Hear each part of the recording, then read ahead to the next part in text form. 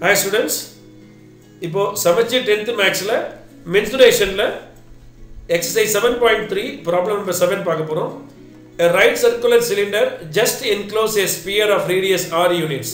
Calculate number one the surface area of the sphere. Number two the curved surface area of the cylinder. Number three the ratio of the areas obtained in one and two.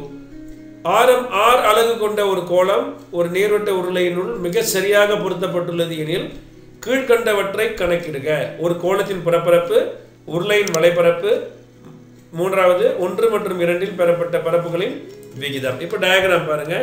ஒரு cylinder அதில் எக்ஸாக்டாக ஒரு sphere உள்ள வச்சிருக்கு.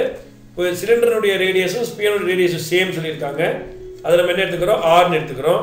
அப்போ height of the cylinder என்ன வரும்? R plus R ஆகுமா? ஏன்னா இது வந்து ஆறு இதுவும் ஆறு தான் இல்லையா? So R plus R two R தான் இதனுடைய total height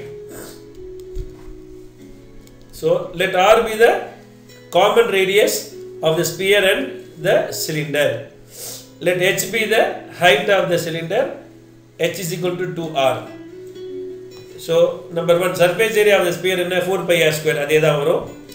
Then surface area curve surface area of the cylinder is equal to two pi R H but H நம்மளுக்கு என்னன்னு தெரியும் இங்கே? டூ ஆர்னு தெரியும் இல்லையா? So two pi R into two R that is four pi R square இப்போ ரேஷியோன்றது என்ன? Ratio of the sphere and cylinder is equal to four pi r square by four pi r square ரெண்டுமே ஈக்குவலாக இருக்கிறதுனால one is to one very very simple இது ஒரு ரெண்டு மார்க்லேயோ மூணு மார்க்லேயோ கேட்கலாம்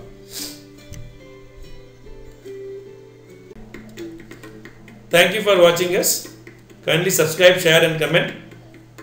Our website is www.maxforyou.com. Thank you.